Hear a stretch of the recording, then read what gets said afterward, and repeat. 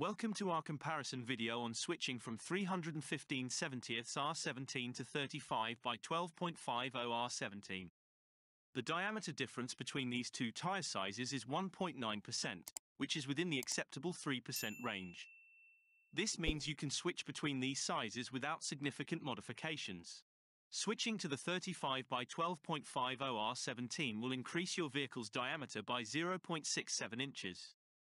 This will raise the vehicle's ground clearance, providing better off-road performance and the ability to navigate rough terrain more effectively. The width difference between 315 70ths R17 and 35 by 12.50 R17 is minimal, with the latter being only 0.12 inches wider. This negligible change means the contact patch remains almost the same, maintaining similar traction and stability characteristics both on and off-road. The sidewall height of 35 by 12.50 R17 is 0.33 inches taller than that of the 315 70ths R17.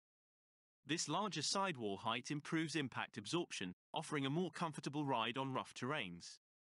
The taller sidewall also contributes to better off-road performance by providing additional cushioning. Due to the size change, your speedometer will read slightly lower than the actual speed. For instance, at a speedometer reading of 20 miles per hour, your actual speed will be approximately 20.39 miles per hour. Based on our observation, switching to 35 by 12.50 R17 offers both benefits and shortcomings.